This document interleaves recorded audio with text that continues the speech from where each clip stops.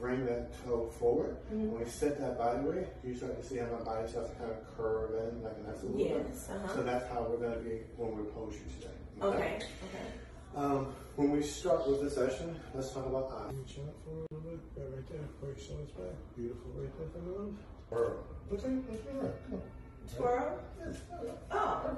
Hands down. Hands down. Forward. Forward. Remember how we um, arch bottom of back? Elbow here. Uh, well, let's, actually, let's start there, but then turn your hands to elbow, right? Because you're going to pull in with this one, and Okay. use this one to kind of um, just give you at the same time, okay? Okay. Um, this one right here, bring it a little bit tighter. Yeah, there you go, just like that.